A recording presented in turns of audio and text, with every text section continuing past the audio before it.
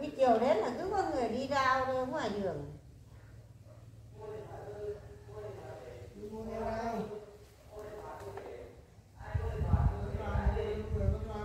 Người ta vẫn rao ngoài đường á. Mua điện thoại hư mua điện thoại về mua laptop hư